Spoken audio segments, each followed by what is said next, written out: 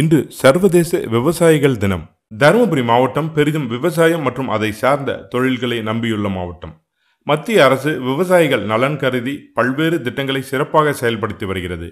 இந்நிலையில் தற்போது மாவட்டத்தில் நமது லட்சியம் வளர்ச்சி அடைந்த பாரதம் யாத்திரையின் விழிப்புணர்வு நிகழ்ச்சிகள் பெண்ணாகரம் பாலக்கோடு மொரப்பூர் ஒன்றியங்களில் நடைபெற்று வருகிறது. பாப்பாரப்பட்டி வேளாண் அறிவியல் நிலையம் சார்பில் விவசாயிகள் பயன்பெறும் வகையில் பல்வேறு மத்திய அரசின் திட்டங்கள் குறித்து இந்த விழிப்புணர்வு நிகழ்ச்சியில் எடுத்துரைக்கப்பட்டு வருகிறது. இயற்கை வேளாண்மையை ஊக்குவிக்கும் வகையில் விவசாயிகள் பயன்படுத்தும் இயற்கை உரங்கள் மற்றும் மரபு விதைகள் குறித்தும் இந்த யாத்திரை மூலம் விழிப்புணர்வு ஏற்படுத்தப்பட்டு வருகிறது. இயற்கை வேளாண்மை என்பது எந்த ஒரு ரசாயனமும் பயன்படுத்தாமல் இயற்கையான முறையில் பயிர் சாகுபடி செய்தல். இதில் இயற்கையான உரங்கள் இயற்கையான பூச்சிக்கொல்லிகள் போன்றவை மட்டுமே பயன்படுத்தப்படும்.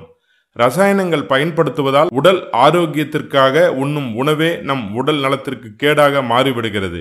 இயற்கை விவசாயத்தில் செயற்கை உரம் பூச்சிக்கொல்லி மரபணு மாற்றப்பட்ட கழிவுகள் முற்றிலும் தவிர்த்து பயிர் சுழற்சி பசு உரமாக்கிய குப்பை கால்நடை கழிவுகள் ஆகியவற்றை நிலத்தில் விளையும் பயிர்களுக்கு உரமாக பயன்படுத்துவது இயற்கை விவசாய முறையாக கருதப்படுகிறது. இயற்கை விவசாயம் என்பது தாவரங்களின் ஆரோக்கியத்தை விட மண்ணின் ஆரோக்கியத்தில் கவனம் செலுத்துவதற்கான கூட்டு முயற்சியாகும். இந்த கூட்டு முயற்சிக்கு நமது லட்சியம் வளர்ச்சியடைந்த பாரதம் யாத்திரை பெரிதும் பயன்பட்டு வருகிறது. விவசாயத்திற்கு முக்கியத்துவம் அளித்து மத்திய அரசு செயல்படுத்தி வரும் திட்டங்கள் குறித்து மக்கள் தெளிவாக அறிந்து வருகின்றனர். தருமபுரியில் இருந்து மா தண்டபாணி.